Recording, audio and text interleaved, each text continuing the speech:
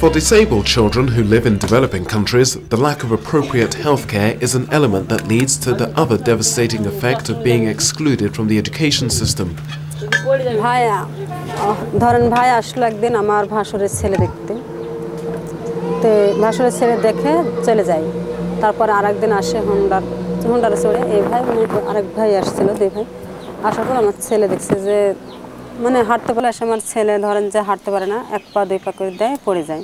তারপর একদিন ভাই আসলো, ভাই এসে বলল যে আপনার ছেলে এভাবে ব্যায়াম করাবেন, কথা বলতে পারে না, হয়তো পেঁপের একটা ডাল কেটে দিয়ে গেলো, যে পেঁপে খো দেবেন, কথা বলতে পারবে তারপর ভাইয়ের পরামর্শ নিয়ে এই কাজ করলাম তাতে আমার ছেলে দেখছে কয়েকদিন পর কথা ফুটলো এবং আস্তে আস্তে হাঁটা শিখলো।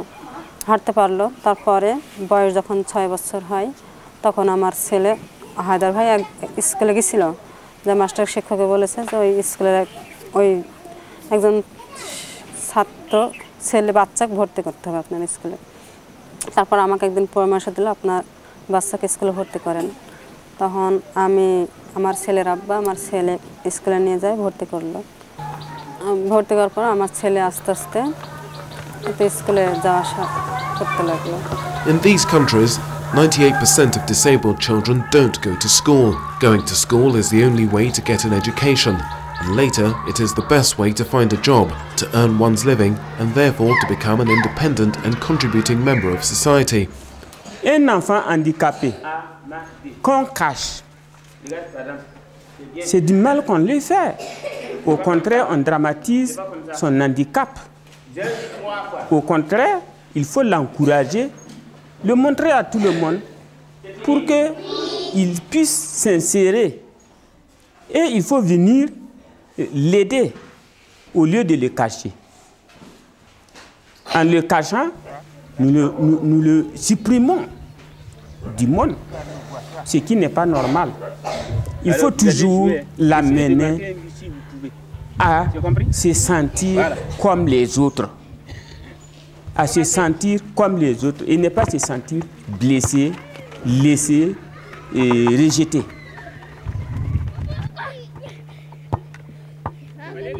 To be a contributing member of the community, to be self fulfilled, and to make the best of their capacities is already difficult for a person who is physically disabled.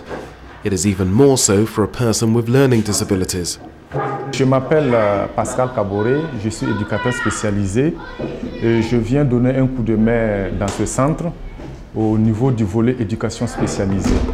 Comme vous le savez, c'est un centre qui accueille et qui prend en charge des enfants handicapés mentaux.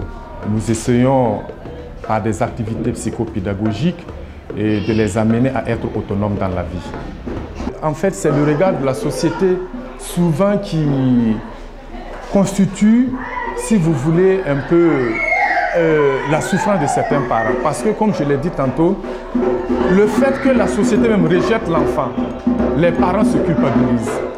Ils se disent, qu'est-ce que j'ai fait pour mériter un tel sort? Alors, cela représente, si vous voulez, une grande souffrance pour les parents. Et je dis souvent aux parents, en fait, le fait que l'enfant l'enfant soit handicapé, ce n'est pas le problème. Mais c'est le regard de la société et maintenant euh, la vision des parents par rapport à cela qui constitue le problème. Donc, euh, si j'ai une suggestion, c'est que euh, les gens comprennent qu'un enfant qui est handicapé mental est capable de quelque chose. Il y a toujours un reste chez l'enfant. Il suffit d'identifier les capacités qui restent chez l'enfant, de développer cela et l'enfant sera autonome.